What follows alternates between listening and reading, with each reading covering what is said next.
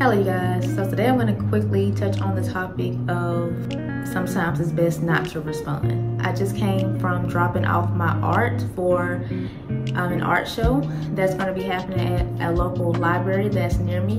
When I got there, I was standing at the circulation desk at the library. I actually spot these ladies that worked at the library and they were both talking and I'm like, okay, I'll wait a few minutes, you know.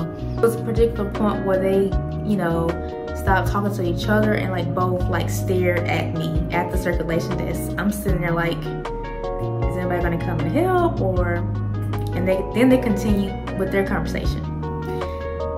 I was like, okay, should I just like storm out of here, just take my artwork and be like, forget it? But I was getting very irritated in the moment. And then another guy walked up and proceeded to help me. And then one of the ladies who were ignoring me came up and said, oh, I didn't see you there. I didn't see you there. She don't see us? you see me? Yeah. You know, oftentimes when we are disrespected or whatever, and somebody says they're sorry for the disrespect they know that they caused, we tend to say, oh, it's okay. Could have like, you know, yelled and lost my cool. I just killed them with kindness, you know. I was like, okay, okay. I didn't say that it was okay.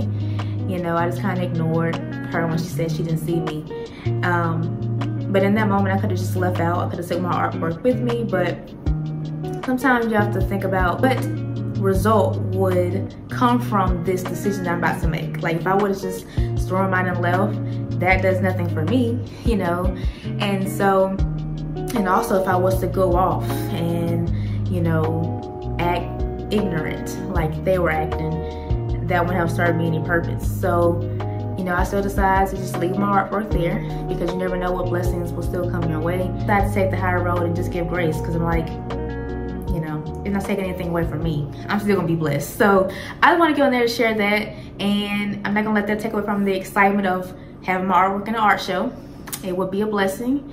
And yeah, let me know down in the comments um, a time where you may have encountered somebody who was very rude or um, a negative situation. How did you respond in that moment? And how do you wish you responded in that moment? Um, all right, guys, see you later. Bye-bye.